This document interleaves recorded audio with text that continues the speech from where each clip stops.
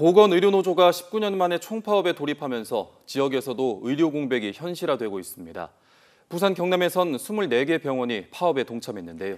특히 노사가 팽팽히 맞서고 있는 부산대병원은 파업 장기화가 우려되고 있습니다. 최한솔 기자가 취재했습니다. 부산대학병원 병동 복도에 사람 한 명 보이질 않습니다. 이번 병실도 텅 비었습니다. 민주노총 보건의료노조가 19년 만에 총파업에 돌입하면서 부산 경남 24개 병원도 파업에 들어갔습니다.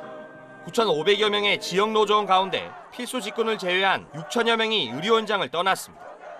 특히 부산대병원 지부 보동과 양산 부산대병원은 지난 5월부터 9차례나 노사 교섭이 불발되면서 갈등이 골물대로 골문 상태입니다.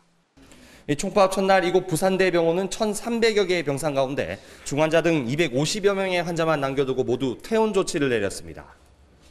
보건의료노조가 요구하는 인력 충원 외에도 시설, 미화 직군 등 비정규직의 정규직화 문제도 끼어 있어 노조원 80%가 파업에 동참했습니다. 저희가 5월부터 시작한 교섭에서 어, 첫 번째 교섭 자리 이외에서는 이외에는 어, 병원의 실질적인 책임자인 병원장이 한 번도 교섭 자리에 나오고 있지 않습니다. 정부와 노조의 협상 타결과 별개로 부산대병원의 파업은 장기화될 우려가 있습니다.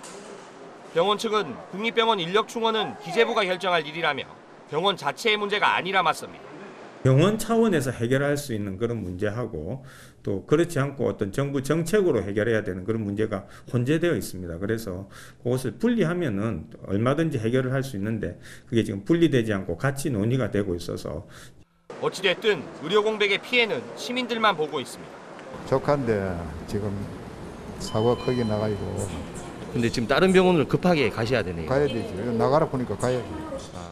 생명과 안전이 걸린 문제 앞에서 대화를 진행 중인 정부와 노조가 협의점을 찾을 수 있을지 관심이 모아지고 있습니다. KNN 최한솔입니다.